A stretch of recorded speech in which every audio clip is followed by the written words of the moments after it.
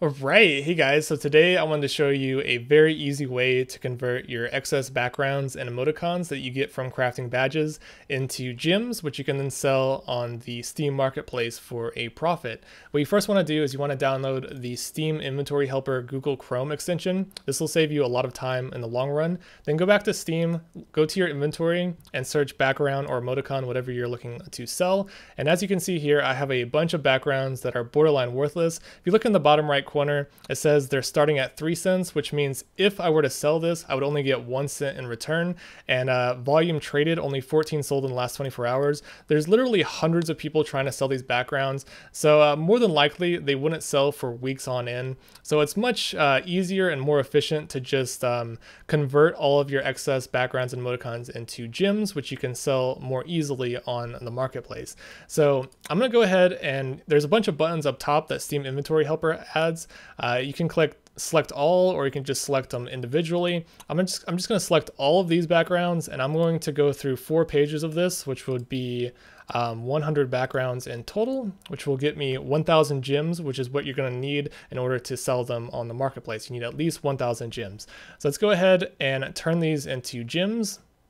And as you can see here, they're all being loaded. Do you want to convert these items into gems? It cannot be undone. I'm just going to click OK. And there we go. So now it's automatically converting all of these items into gems so quickly. It's so much more relaxing. I can even go and like watch a YouTube video or something and do something else while this is going on. And just know you can do the exact same thing with emoticons. Just search emoticons, select all the items that you don't want, and then convert them into gems. I also wanted to quickly mention that certain emoticons and backgrounds can be converted into uh, more than 10 gems. This background here can be converted into 80 gems. I'm not really sure how the value is calculated, but just keep that in mind that certain emoticons and backgrounds are worth a little bit more when you convert them into gems. Okay, so once you have over 1,000 gems, you can then pack them into a sack of gems, which is then sellable on the Steam Marketplace. All you need to do is click your gems in your inventory, click Pack Gems into Sack, move the slider over, click OK, and then a sack of gems will appear in your inventory. Don't worry, you can always unpack these gems whenever you like. Um, in the bottom right corner, you can see how much they're currently being sold for. Uh, currently, they're at 86 cents. I can go to sell, 80 cents, 86 cents. I will receive 76 cents in Steam credit as profit. So uh, yeah, hopefully that makes sense to you guys. It's very easy to do. Uh, this is just a good way to get rid of all of your unwanted backgrounds and emoticons very easily and uh, get some value in return.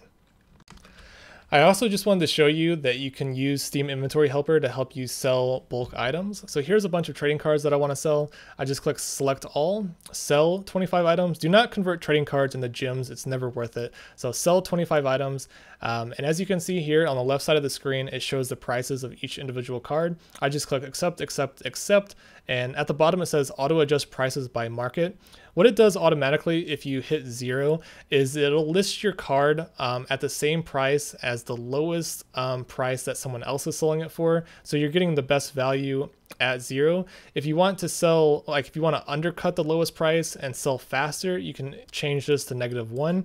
Or if you want more value out of each card, you can change this to like plus one or plus two, um, whatever you think. But I keep this at zero and then I just click OK, put it up for sale, and it'll automatically do that for each one of the cards.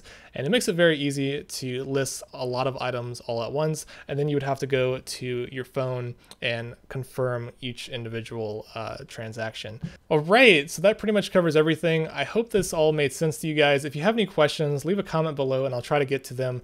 But uh, that's pretty much it. Thanks for watching and have a nice day.